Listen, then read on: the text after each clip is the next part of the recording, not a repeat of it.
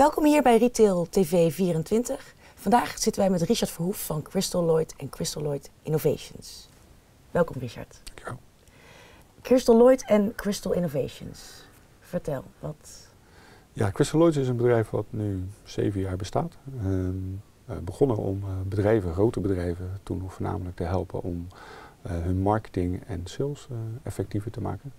En dat houdt in dat we systemen implementeren. Eh, ook systemen, bestaande systemen bij bedrijven verbeterden. En eh, een jaar of twee geleden hebben we een nieuwe tak opgericht Ja. in Lloyds. En die heet Crystal Lloyds Innovations. En daar hebben we ons meer gericht op eh één specifieke industrie. En dat is de, de race-industrie. En dat kwam omdat we een product gemaakt hebben. En dat product heet Inside OS. En wat eigenlijk het, hetzelfde kon als wat we deden in het andere bedrijf. Alleen dan automatiseren we het helemaal weg. Oké, dus het is een product geworden. Ja, het is een product geworden. Wat ik dus begrijp is dat het weer teruggebracht is naar een echt product. Ehm, wat zijn daar de voordelen van voor jullie eh, markt, in jullie markt? En wat het eigenlijk op neerkomt is dat je als consument ben je nu tegenwoordig zo gewend om eh, kleine applicatietjes te gebruiken die jou gewoon het antwoord geven. En eh, wat wij wilden is dat we ook de medewerkers in het bedrijf en eh, de klanten van die bedrijven dezelfde gebruikersmak eh, konden geven in het gebruik van informatie die eigenlijk in het bedrijf beschikbaar is. Eh, wat letterlijk gebeurt is, wij vroegen ons af, waarom kan Google het nu wel? Waarom kan Google wel een hele eenvoudige interface leveren, een eenvoudige gebruikersinterface leveren naar klanten, waar je eigenlijk niet mee over na te denken. En dat, dat het voor iedereen te gebruiken is.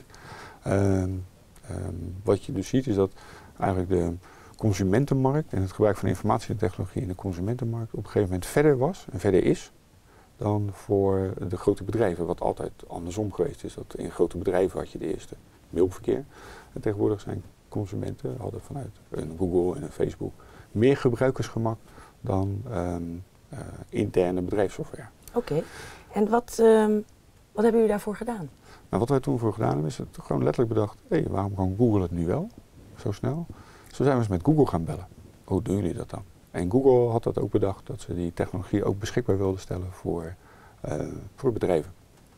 En eh, zo'n twee jaar geleden ben ik daarmee begonnen. En ik had een idee wat voor soort applicatie daar dan zou mee kunnen bedrijven. Voor bedrijven, dus ook weer voor klanten van ons.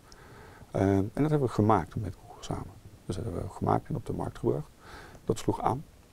En het grootste verschil is met de, de meer traditionele instrumenten zeg maar, die er gebruikt worden, is dat ons product gebruikt kan worden door de stagiair en door de directeur en alles wat ertussen zit. Kijk, dat is een voordeel. Dat is, eh, Dat is voor het interne proces. Als Ja. we gaan kijken extern, hè, dus de levering van het product. Eh, welke voorbeelden kun je noemen eh, die zich nu ontwikkelen of in ieder geval afspelen in jullie markt? Noem een Ja. voorbeeld in de retail. In de retail, nou wat je ziet in de retail is, een van onze klanten is bijvoorbeeld een hele grote organisatie die parkeerplaatsen aanbiedt. Ja. En wat die eigenlijk wil is niet dat ze alleen maar kijken naar hoeveel parkeerplaatsen er nog vrij zijn. Maar om dat te combineren met het communiceren naar klanten, dat er zoals vandaag er nog parkeerplaatsen vrij zijn. ehm, dat je een klant kan informeren dat hij eigenlijk dichter bij zijn bestemming kan staan. Oké, dus het is, het is ook het meedenken met de consument.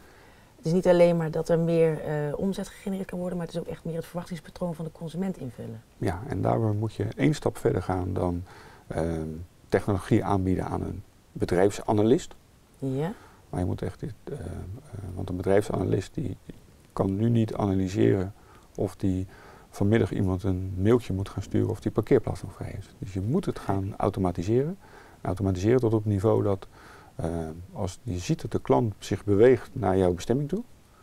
En het dan nog relevant is voor hem om hem te waarschuwen dat er nog een parkeerplaats dichter bij zijn bestemming is. Om op dat moment gelijk te, dat te melden. Dat kan niet meer met klassieke, traditionele statistische software. Daarvoor moet je het wegautomatiseren. oké. Dus inderdaad komen we terug dat het dus een product is geworden. Wat het voordeel is, is dat het veel makkelijker inzetbaar is. Is het voor iedereen, voor ieder bedrijf weggelegd? Qua kosten en eh, het, het inzetten van, van dat product? Ja, dat maakt het leuk eh, tegenwoordig. Dat, eh, grote bedrijven hebben vaak heel veel data. En zag je dat met de traditionele technologie ze het niet lukte om dat eh, goed te verwerken. En eh, daardoor waren ze miljoenen kwijt en werkte de business case eigenlijk niet meer. Want dan was het, eh, het gewin eigenlijk te klein om al die kosten te...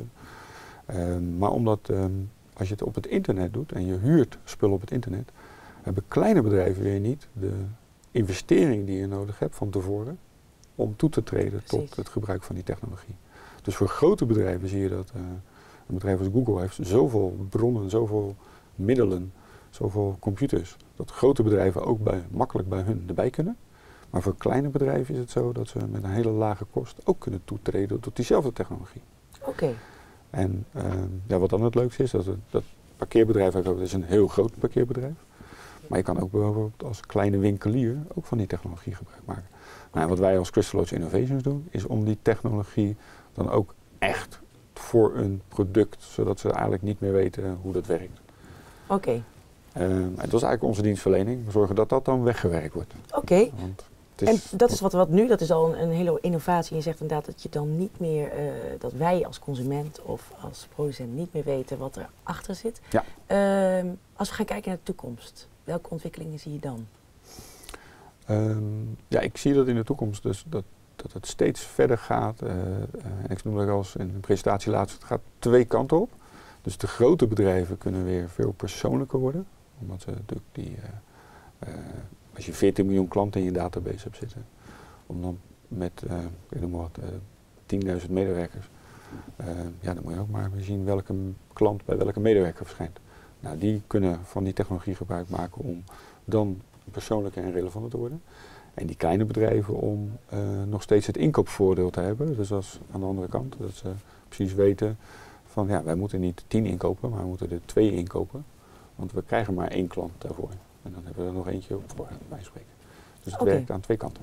Mes snijdt aan twee kanten. Ja. Oké. Wat zijn dan de concrete stappen als je zo'n traject ingaat? Eh, nou, wij zeggen zelf altijd, we hebben drie fases. We kristalliseren, we implementeren en we optimaliseren. Nou, wat nu leuk is met eh, de huidige stand van technologie, dat je dat eigenlijk in real time kan doen. Nou, wat houdt dan in kristalliseren? We kijken naar de stand van de voorraad. Heb ik nog wel of niet die Apple op voorraad staan? We kijken wat er vandaag gebeurt op de website. Ja. Dat is echt eh, real-time informatie. En we voorspellen wat bijvoorbeeld een verkoper morgen moet doen met die twee stukken informatie. Dus de klant is geweest op de website, heeft gezien dat er een, een artikel is, maar heeft niet gekocht. Maar hij was wel zover dat hij al zijn gegevens had achtergelaten, aangevinkt dat het hij wel geïnteresseerd is in informatie van het bedrijf. Nou, je ziet nog steeds dat het artikel niet verkocht is. Nou, wat is het dan mooier om vandaag een verkoper een telefoonnummer te geven van een klant met potentie om dat artikel te kopen. Oké, ik hoor hier een win-win Ja. situatie, consument, verkoper. Ja, dus de, de klant blij, want die, ja, die was even afgeleid toen hij online aan het shoppen was eh, door zijn zoon. Pa, waar liggen mijn hockeysticks? Ja. En dan denkt, oh ja, die liggen, heb ik nog ergens zien liggen in de schuur en loopt naar de schuur toe. Eh, en s'avonds of de volgende dag wordt hij even gebeld van het artikel waar hij geïnteresseerd in was. Wilde hij wilde kopen voor zijn zoon omdat hij naar de middelbare school gaat. Oké, dus Dus- een just-in-time oplossing voor, consument, oplossing. voor de consument en, voor de producent en voor de producent en de retailer. en de retailer. Oké, dank u wel. Graag gedaan.